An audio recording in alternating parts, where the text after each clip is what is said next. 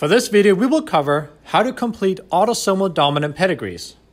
Let's start by talking about the items that we use to identify a pedigree as autosomal dominant. Every affected person has at least one affected parent. Most generations have affected individuals. Males and females have an equal chance of being affected. Around 50% of the individuals are affected.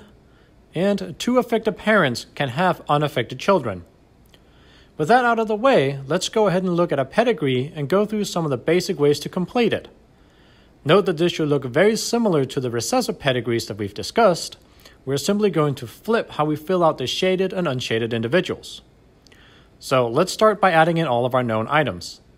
Since this is a dominant trait, we know that all of the unshaded individuals have to have two lowercase letters. And let's just use a's to make it easier. So let's give them all two small a's. Now each of the shaded individuals are then going to need one big A to start with. With that out of the way, we can now start asking the question What is the second allele of all of the shaded individuals? We're basically just going to look at the parents and offspring of each individual and see if we can determine or justify what their second allele has to be. Keep in mind here that we won't be able to justify a homozygous dominant individual, or big A big A, and as such we may end up with some question marks. The question mark simply indicates that it could be either a dominant allele, big A, or a recessive allele, little a. Let's start with individual 1 1. This individual does not have parental information, so we look at the children instead. From this, we can determine that he has to be heterozygous or big A little a. This is because of individual 2 5 being homozygous recessive.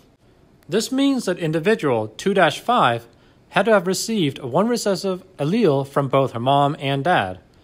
And as such, individual 1 1, or the father in this case, has to be heterozygous to be able to pass on the recessive trait. This then also justifies individual 1 2 as heterozygous due to the same reasoning. So let's move on to individual 2 2. This individual does have parental information, but since both are expressing the trait, it does not help us in figuring out the second allele. So let's look at the kids instead.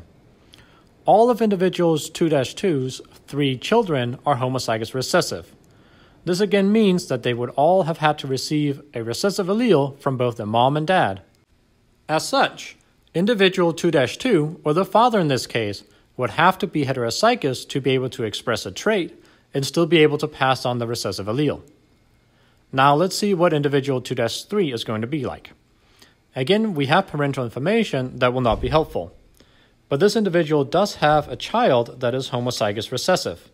This again means that both the mom and the dad of the child would have to give one recessive allele each.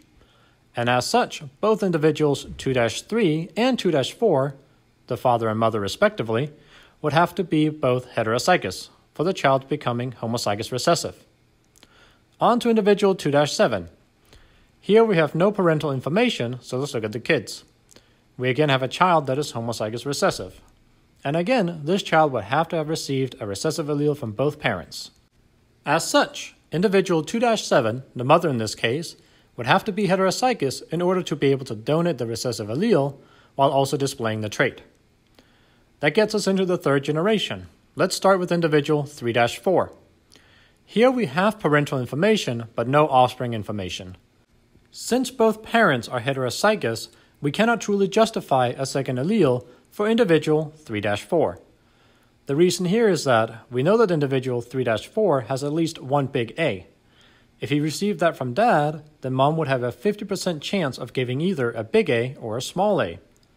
Similarly, if mom donated the big A, then dad would have a 50% chance of giving either a big A or a small a.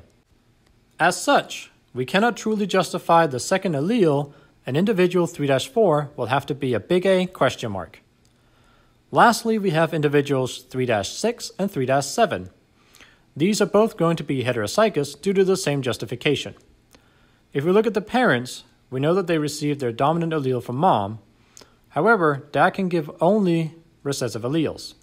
As such, both would have to have at least one recessive allele, and they are then both heterozygous. Keeping these simple rules in mind should make you able to complete autosomal dominant pedigrees without too much trouble. Always start by confirming that the pedigree is in fact autosomal dominant. Then add your knowns to complete as much of the pedigree as possible. And then just ask the question what is the second allele of all the shaded individuals? This concludes a video covering how to complete autosomal dominant pedigrees.